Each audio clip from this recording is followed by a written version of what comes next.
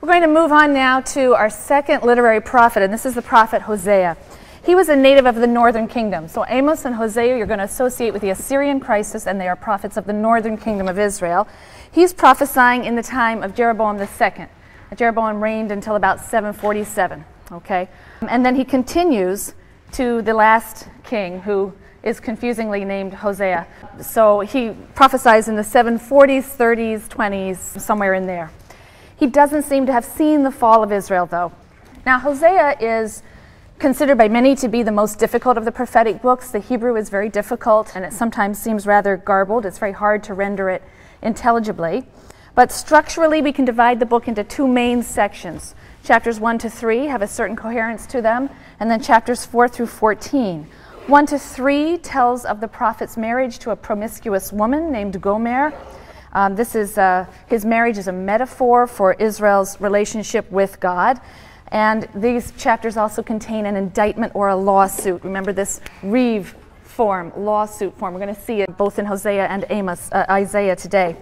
Then chapters 4 through 14 contain oracles primarily, oracles against the nations, but also against the kingdom of Israel.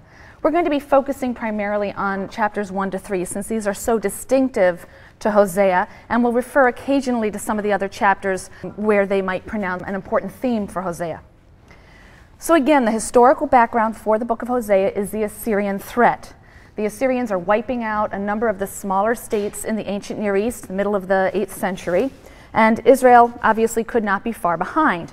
And the line that was taken by Hosea was to condemn the attempts that were made by various kings, by Israel's kings, to withstand defeat or to avoid defeat at the hands of Assyria. If Assyria was going to conquer Israel, Hosea said, then it was God's just punishment. And to fight against it to fight against the inevitable was simply another kind of rejection of God, another rejection of his plans and purpose. It demonstrated a lack of trust or faith in the power of God. Hosea 10, verse 13, spells out the disastrous consequences of trusting in human power or foreign alliances rather than trusting in God. And this is a theme that we'll see occurring again and again. Hosea 10:13. You have plowed wickedness, you have reaped iniquity, and you shall eat the fruits of treachery, because you relied on your way, on your host of warriors. He was suggesting inaction. Now, that surely would have been viewed by the king and the court as against all reason. But this was Hosea's insistence. Israel was faced with a choice. Who, in whom should she place her trust?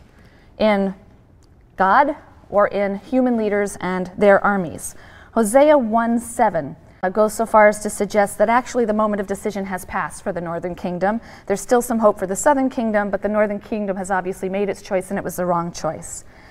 Hosea says that God says, I will no longer accept the house of Israel or pardon them, but I will accept the house of Judah, and I will give them victory through the Lord their God. Right? Victory through the Lord their God. I will not give them victory with bow and sword and battle, by horses and riders. Right? If you think that's what gives you victory, you're mistaken. Some see that verse as perhaps a later interpolation into Hosea has such a positive assessment of the southern kingdom.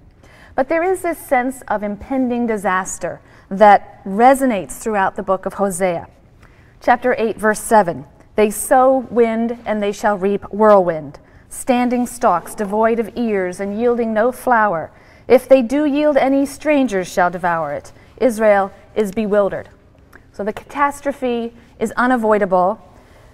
And Hosea has often been described as, as painting a portrait of unrelieved gloom. It's very grim. He seems to hold out no real hope for Israel. She has to pay the price for her infidelity to God.